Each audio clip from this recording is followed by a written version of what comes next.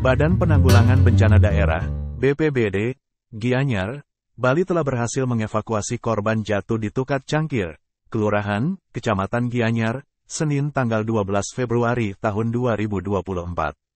Saat ini, jenazah korban telah dibawa ke RSUD Bangli.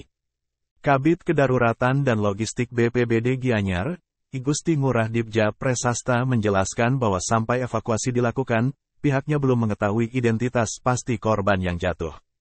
Hal tersebut dikarenakan tidak terdapat kartu identitas pada tubuh korban.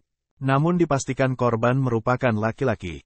Namun saat itu, ada Babin Kamtipmas Bebalang, Kabupaten Bangli yang mengenal bahwa kendaraan tersebut milik warganya. Karena itu, jenazahnya pun langsung dibawa ke RSUD Bangli. Tidak ada identitas. Jenazah langsung dibawa ke RS Bangli. Katanya dari Bebalang, karena tadi ada Babin Kamtipmas Bebalang, mengecek kendaraan korban, ujar Dibja. Terkait perkiraan usia korban, pihaknya juga tak bisa menduga-duga. Sebab saat itu kondisi korban cukup memprihatinkan.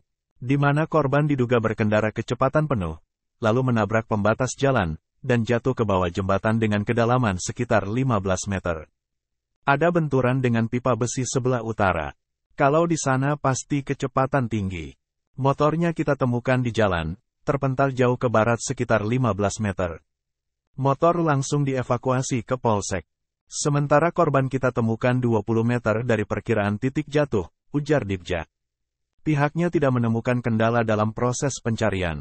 Adapun yang memakan waktu cukup lama, dikarenakan saat awal evakuasi situasinya sangat gelap. Korban ditemukan di lokasi yang sama dengan siswa yang mengakhiri hidupnya kemarin. Bedanya, siswanya ditemukan di atas batu, korban yang ini di air, kata Dibja.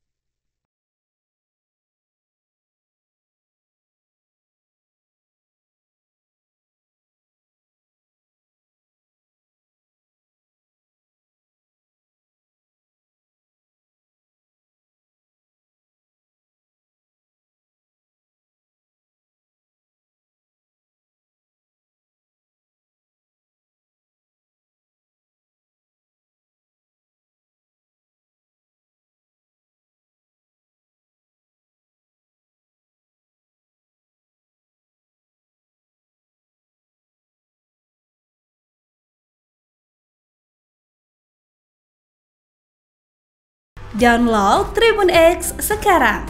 Menghadirkan lokal menjadi Indonesia.